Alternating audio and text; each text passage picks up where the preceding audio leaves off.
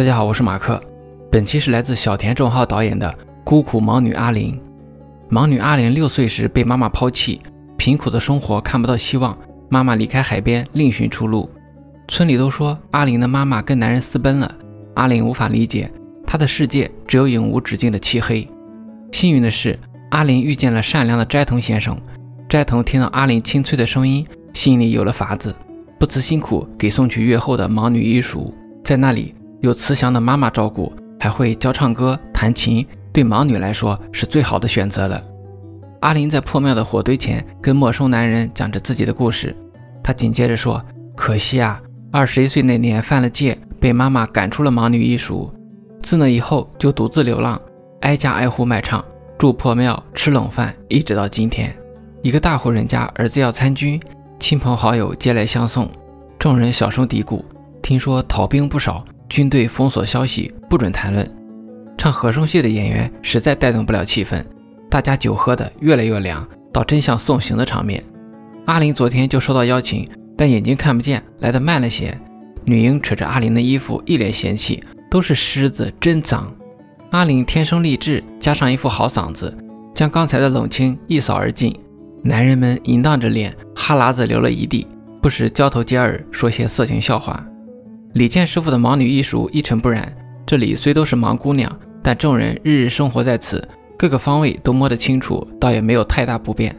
盲女们听力出奇的好，李健老远就听到有人来，叮铃当啷的，准是卖药的斋藤先生。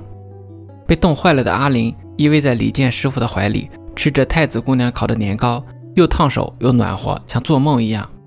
此刻吃着男人给的热饭团，使得阿林又想起那天吃烤年糕的场景。男人本在附近的采石场工作，今早窝棚被捣毁，现在无家可归。阿玲不信，深山野岭的哪有采石场？准是住在这附近，对吧？阿玲问。没想到男人鼾声雷动，已呼呼大睡。在盲女一熟的日子，是阿玲最快乐的时光。师傅拿着阿玲的小手拨弄着琴弦，教着说：“这是第一弦，这是第二弦。”阿玲年纪小，讨人喜欢，又聪慧的很。李健师傅很愿意教。但同生活在一个屋檐下的师姐们可不太平，勾心斗角让李健操碎了心。大姐金子仗着资格老，经常教训别人，但师妹太子也不是好惹的，怪声怪气的提醒大姐：“想跟孙次约会对吧？想得夜夜睡不着觉呢。”盲歌女这一行是有阶级的，初入塾要废掉本名，有师傅取个艺名。过了两年，有所谓三年庆贺，师傅在这天做红豆饭。七年头上来到公民年，是取个发髻名字的年头。假如名字是李，就叫雨田李或千代李。再过一年，入徒的八年头上才取得做姐姐的资格。再过上三年，叫满徒，成为一名够格的师姐。如师傅年迈，这时候就可以收徒弟了。阿林的初次巡回旅行是八岁那年冬天，师傅怕冻坏他，特地给他穿上打了补丁的像破抹布的窝边布袜子。李健师徒一行人由寺庙街杂货店女儿安子领路，安子患青光眼，是个半盲。沿途逢庙必进，见佛必拜，虔诚之心清澈如泉。农家人不管情妇，多有善心，一碗大米聊表心意。到达盲女客栈，阿玲一曲唱完，惹得大家心生怜爱，给她送吃的，送茶水，多么可爱的小姑娘！阿玲虽看不见，但也觉得热闹。晚上，阿玲被冻伤的脚开始疼了。一瘸一跳的哭个不停，李健非常心疼，明天还是跟大人一样光脚吧，这样不是法子，要冻坏的。果不其然，脚上不穿袜子，一开始冻得疼，过了一个小时就热乎乎的，比穿袜子还舒服。自那以后，阿林就一直赤脚穿草鞋，再也没有被冻伤过。破庙里的男人说他没有爹妈，孤家寡人一个，要同阿林去十日街的春天庙会开开眼界，吃点好吃的。让我背你吧，男人说。阿玲撒娇地说：“不敢不敢，你快回家吧，肯定有人等你。”男人不管，执意要背，阿玲只好让他背了。宽肩膀，粗脖颈，是个干活的粗人，没错了。金子每晚悄悄出去，第二天悄悄回来。李健躲在门旁抓个正着。你的身体早已交给佛祖，为什么要这么做？我这么多年照顾你，你太令我失望了。按照规定，犯了戒要被逐出门，但不管李健如何恼火，却也无法下狠心将金子赶走。金子的孕吐越来越严重，李健告诉阿林：“盲人看不见地狱，是佛祖不让我们看。所谓的人间，不过是地狱的别称。我们要感谢佛祖的慈悲。阿林初次来月经是十七岁那年的冬二月晚上，跨进客栈时，一位大姐大声喊：“这是怎么回事？鲜血流到地上了！”李健师傅第一次对阿林做了解释：“从今天起，你成了大人，可以生小孩了。但是盲女不能跟男人睡觉。你的身体已经献给佛祖。还记得金子师姐吗？她就是这样被赶走的。”阿林十八岁起，虽眼睛看不见。却觉得世界变了样。外出旅行期间，住在盲女客栈和当地居民接触的时候，男人们一靠近，阿玲就觉得身体火热，心也咚咚狂跳。男人们劝阿玲喝酒，阿玲一概不拒绝。李健师傅焦灼得很：“阿玲啊，男人们布下陷阱，他们都在垂涎你的身体。阿玲啊，还记得十三岁的公民情形吗？那是嫁给佛祖的仪式，不能跟男人睡觉，那样会被赶走的，会出去流浪啊。”半夜时分，酿酒工祝太郎钻进阿林的被窝，解开李健师傅的绑绳。阿林想大喊一声，可是嘴唇上堵住一张牙齿恶臭、胡须刺人的嘴。不多时，男人滚烫的肉体接触到阿林汗淋淋的下身，紧迫的呼吸震荡着他的耳骨。阿林觉得那男人温暖的身子好像唤醒了他昏睡中体内的鲜血。阿林问男人：“昨夜你为什么不抱着我睡觉？”这一路上遇到的男人。都迷恋我的身体，我无力抵抗，都任由他们。寒冬天最难熬，我怕到天亮被冻僵。随便一个男人抱着我都行。有次是个老大爷，任我怎么求都没有留下。男人想起妈妈来，那是他童年最大的阴影。长大后离开家的第一件事就是放火烧了那男人的家。和这么多男人睡觉，自然也是怀孕过的。生了一个男人跑了，孩子冻死了。阿玲微笑着说。男人告诉阿玲。我妈妈以前在木屐店帮忙，我也会一点。等我木屐生意好了，你就不用四处流浪卖唱了。有男人作伴后，阿玲心里感到异常踏实。不管现场有豺狼虎豹，还是魑魅魍魉，阿玲都不怕。虽然他看不到，可他的心感到厚重。又是半夜时分，阿玲的身体火烧的一样，渴望被抱着睡觉。男人转过身去，和阿玲保持距离。一夜孤独未眠，干涸的心渴望至极。男人告诉阿林：“我不能抱你，若是抱你睡觉，就会跟其他男人一样离去。我不想走，我想跟你同行。”男人叫鹤川，仙鹤的鹤，鹤立鸡群的鹤。阿林的身体在夕阳的映衬下，美得像油画一样。贺川叫住阿林：“别动，这个角度下像个瓷佛。”阿林看不见，他希望贺川靠近一点，不抱抱，靠近一些就行。贺川仍旧离得远远的。阿林又赚了一些钱。帮贺川买了做木屐的工具，毕竟从小在木屐店长大，贺川手艺很好，生意不断。等我生意再好一些，你就不用卖唱了，在我身旁用木贼镜磨磨木屐就行了。阿林闻到了桐木的香气，把新桐木一靠近脸，就立刻贴得很近，像鸡蛋皮似的滑溜溜的。从明天起，我是你哥哥，你是我妹妹，卖木屐为生，永远的流浪。鹤川兴冲冲地说。阿林反驳说：“你不是我的哥哥，你是我。”这个世界最心爱的人，鹤川打造了二十双新木屐，在地藏菩萨庙里开业了。哥哥，我是做梦吧？托您的福，我成为一个普通人了，什么活也不干，光吃饭，成了个逍遥自在的人了。阿林开心地说。对面卖药的商人别锁总是往阿玲身上撇。鹤川告诉阿玲，小点声，别让人听见了。鹤川做木屐的工具不轻，加上做的木屐越来越多，他干脆买了辆旧马车。阿玲转着鹤川给买的太阳伞，宛如身在梦境，不由得唱起歌来：“我好幸福呀，哥哥，我没有半点不满足，我是在做梦呢。有时候我这么想，如果哪怕只有一夜，你抱着我睡，死了也甘心。可是，可是哥哥不肯。”阿林撒娇地说：“正因为这样才能长久啊。”鹤川看着大海说：“终于过山口，一场不大的地震开始了，山上碎石滚下来，挡住了去路。如此。”鹤川带着阿林住进了表屋客栈。鹤川外出买些补给的时候，卖药的别所看到阿林的三弦琴，猜出了大概。东打听西打听，你是卖唱的吧？不是处女吧？阿林有问必答，觉得这是别所的关心。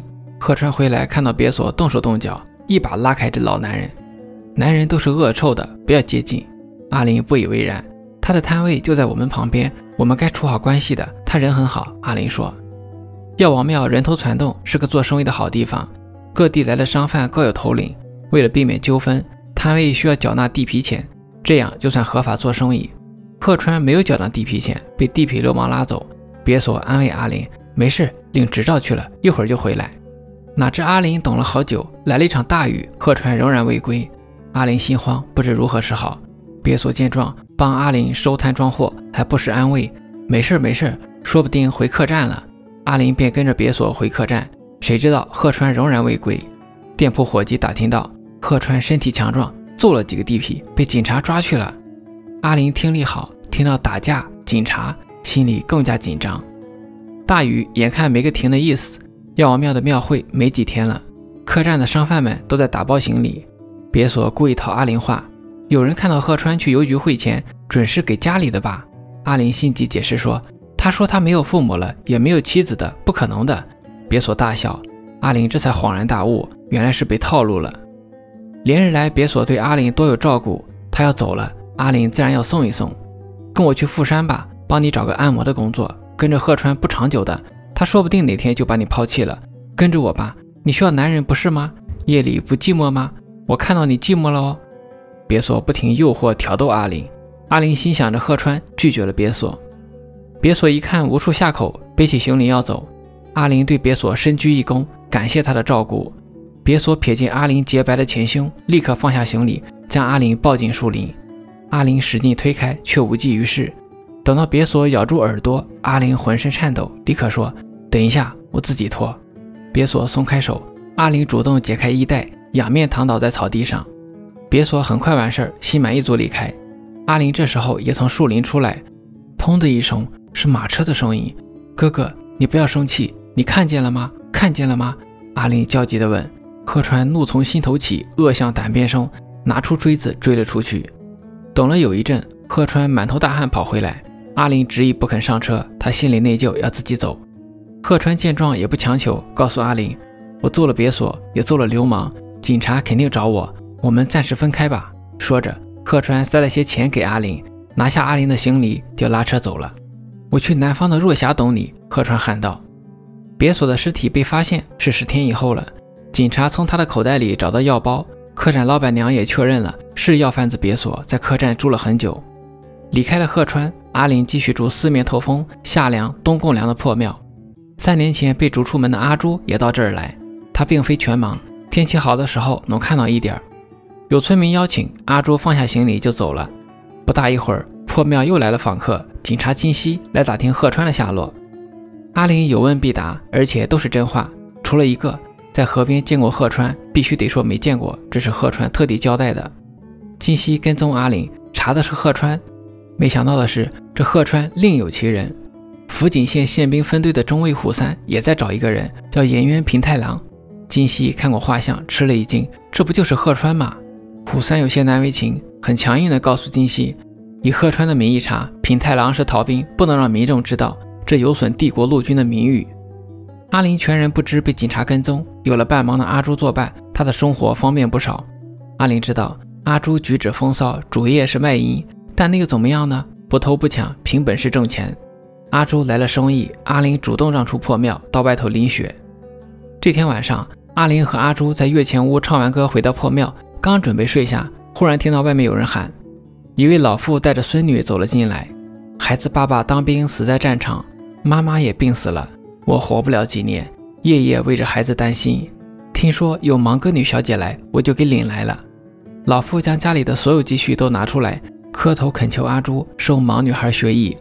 阿朱坦白道：“我们也是被赶出来的，我帮你写信给师傅吧。至于收不收，全看师傅啦。”告别了阿朱阿林，老妇和孙女来到悬崖边，两个人紧紧绑在一起，跳下了山崖。明明答应了会帮写信推荐。老夫为什么还要死呢？阿林不从见光的眼睛流出泪来。有眼看不见的人是祖先的造化，可以不去看明眼人生活的地狱。阿朱说：“大雪飘飞，山间凄冷无比。”阿林止不住的哭，他从未如此伤心。三月，料峭的寒风依然劲吹，然而山野里已经不再是严冬的枯木，树枝抽出了新芽，大地焕发着生机。阿林和阿朱继续旅行着，继续歌唱着，继续坚强的活着。李健师傅的盲女艺术只剩他一人了。每日听风听雨，突然听到移门声，心下紧张起来，以为是金子，或是太子？难道是阿林？警察金熙和中尉虎三开口问阿林的事。李健叹息道：“他从未回来过，我也很想见他，可他一次也没有回来。”追凶二人组不放过任何一个细节，得知阿林老家在若霞小滨，便辞了李健师傅。三月十七日，若霞的善光寺进香结束的最后一天，阿林正从台阶往下走呢，听到一个熟悉的声音：“阿林，是阿林吗？”贺川跑过来，激动坏了，两人紧紧抱在一起。阿朱不虚此行，佛祖显灵了，准是如此。祝你幸福，阿林。说完，阿朱独自离开山光寺。孤独的夜，贺川和阿林抱在一起，相遇即是离别，拥抱过就无法长久了。已经过了二十几年，小滨通了火车，不再是当年那个穷困村庄了。阿林虽只是听说家乡在海边，并不知道具体在哪里，但听到这里的海浪声却格外亲近。木材店伙计骑车经过，看到拉车的贺川，迅速跑回家，和画像上一样，快派人来吧！老板娘给警察局挂了电话。既然这里的海浪亲切，贺川干脆带阿林到沙滩上。这里听起来怎么样？阿林脸色难看，神色紧张。军刀是军刀的声音，没等贺川反应过来，已被虎三的人抓住。贺川是条汉子，无论怎么打都不招。这并非是为了别所的事。贺川对军队的恨远不止如此。普三验证过阿林确实是盲人之后，将阿林的供词拿给贺川：“你最好招了，否则他会因为帮助和教唆逃兵而受到折磨。”三十分钟前，普三先审讯了阿林，看没看见贺川？没有，我是个瞎子，什么都看不见。他不是你哥哥，他是个逃兵，是拒绝尽国民义务的罪人。普三大声喊道：“我是瞎子，不懂国事，什么都不懂，真对不起。”普三被气坏了，抓住阿林问：“没在沙滩上看到他？”阿林哭着说：“我没见到哥哥，只看到他的心，一颗善良的心，温暖的心。”化名为鹤川的平太郎招了，但令他愤恨的是，所谓国民皆兵，这是说谎。有钱人就免了兵役，贫苦人在劫难逃。战争是拿穷人当牺牲品。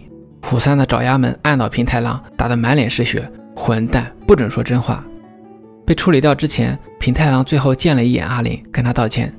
其实我还有个妈妈的。世人谁无父母？我也有的。阿林说，给阿林的生活带来一团热火的男人，就这么被处理掉，连着善良和温暖一起被处理掉。说到父母，阿林想起了妈妈，于是回到盲女一书，可怎么敲门都没人应答。一位老婆婆告诉阿林：“李健上个月去世了，你早点回来就好了。他一个人多孤单。”熟悉的房子，熟悉的各个角落，一股霉味扑鼻而来，手摸到的地方都是灰尘。阿林就这么继续流浪着，继续歌唱着，衣服破的都是洞，虱子跳蚤爬满身。他的温暖被处理掉了，善良被处理掉了，人间的一切光都被军队的大炮打进了地狱。于是地狱有了光，人间漆黑一片。不知过了多久，在隧道里修地铁的男人看着山崖说：“好奇怪，哪里来的一块红布呢？”另一边的悬崖处，乌鸦盘旋着，叫个不停。尾巴，这部1977年11月上映的影片，改编自日本作家水上面的一部中篇小说《孤独的盲歌女》。小田正浩的电影改编，除了开头和结尾部分，内容上基本忠实原著。原著以福井宪兵司令部的审判记录开始。紧接着，从阿林的模糊童年徐徐展开，如何来到李健师傅家，如何学艺，如何被驱赶，如何遇见平太郎，如何被抓，如何继续流浪。原著的结尾并非是完全丧的气氛。阿林离开宪兵司令部后再次流浪，且将平太郎之事告诉过李健师傅，也就是阿林的妈妈。李健跟阿林解释了妈妈和亲生母亲的区别，但阿林无法理解。在整部小说的倒数第二段，阿林的内心独白说。哥哥好像到邮局给谁汇过钱，在什么地方有一位妈妈？是的，哥哥是给他母亲汇钱吧？我不能像平太郎那样汇钱，但是心中也有一位尊敬的母亲。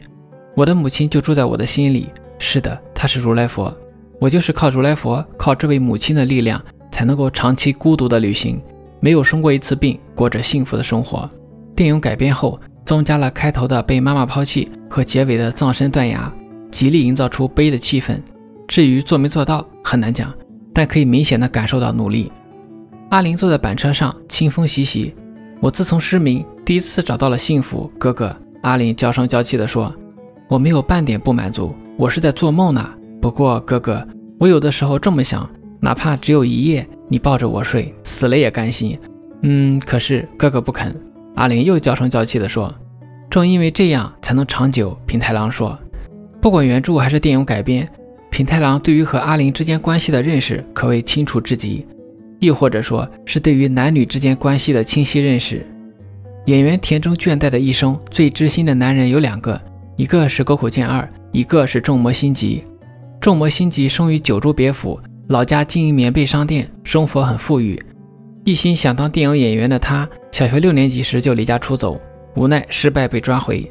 小学毕业后再次离家出走，后来跑到东京的叔父家，因为神母贩卖滴鼻药水，常来往于莆田制片厂，那里有认识的人，于是他的愿望得以实现。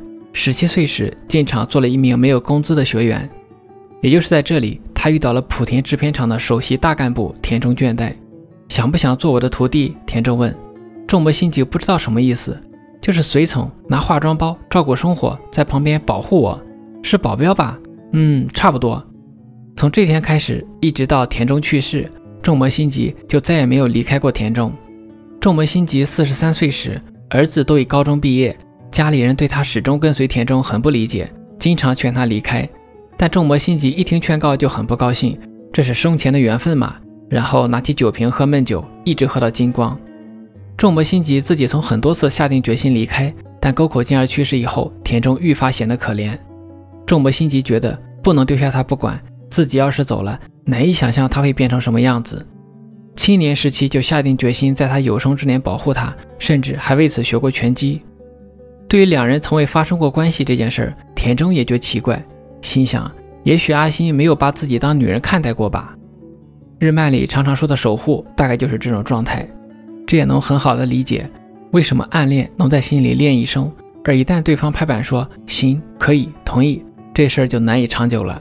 所以对于姑娘们来说，如果一个男生要守护你，同时还要做你男朋友，相信我，这绝对是个骗局。